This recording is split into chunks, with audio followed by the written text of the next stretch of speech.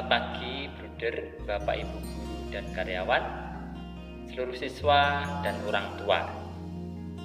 Pada hari ini kita akan mendengarkan bacaan dari Injil Lukas bab 5 ayat 1 sampai 11. Penjala ikan menjadi penjala manusia. Pada suatu kali, Yesus berdiri di pantai Danau Genesaret, sedang orang banyak mengerumuni dia untuk mendengarkan firman Allah. Ia melihat dua perahu di tepi pantai. Nelayan-nelayannya telah turun dan sedang membasuh jalannya. Ia naik ke dalam salah satu perahu itu, yaitu perahu Simon, dan menyuruh dia supaya menolakkan perahunya sedikit jauh dari pantai. Lalu ia duduk mengajar banyak orang dari atas perahu. Setelah selesai berbicara, ia berkata kepada Simon, Bertolaklah ke tempat yang dalam dan tebarkanlah jalamu untuk menangkap ikan. Simon menjawab, Guru, telah sepanjang malam kami bekerja keras dan kami tidak menangkap apa-apa.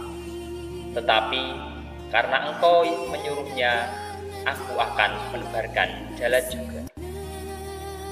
Dan setelah mereka melakukannya, mereka menangkap sejumlah besar ikan, sehingga jala mereka mulai goyang.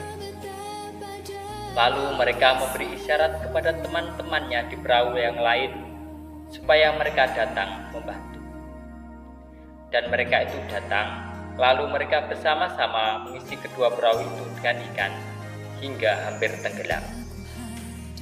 Ketika Simon Petrus melihat hal itu, ia pun tersungkur di depan Yesus dan berkata, Tuhan, pergilah daripadaku, karena aku ini seorang berdosa. Sebab ia dan semua orang yang bersama-sama dengan dia takjub oleh karena banyaknya ikan yang mereka tangkap.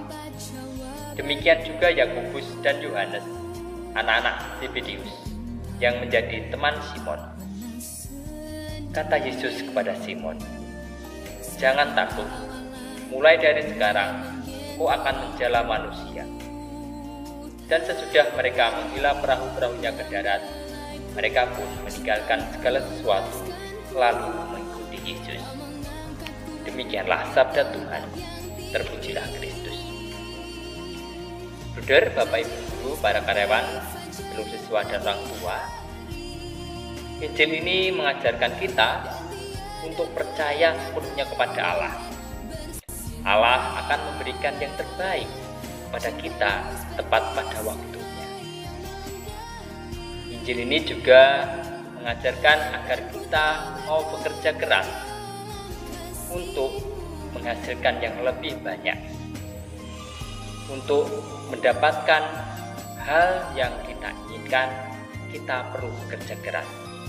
Selain itu, Injil ini juga mengajarkan kerendahan hati untuk mengakui semua kekurangan-kekurangan kita.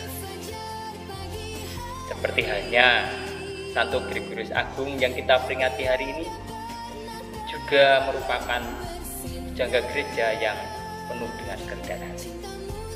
Mari kita berdoa kepada Tuhan agar Tuhan selalu membantu langkah-langkah hidup kita. Dalam nama Bapa dan Putra dan Roh Kudus. Ya Allah yang Maha Pengasih, terima kasih atas berkatmu yang melimpah kepada kami. Ya Bapa, ajarlah kami selalu percaya kepadamu dan mau bekerja keras dalam hidup ini. Ajarlah kami untuk selalu rendah hati kepada siapa pun, hingga kami juga bisa melayani sama dengan baik. Amin. Dalam nama Bapa dan Putra dan Roh Kudus. Amin.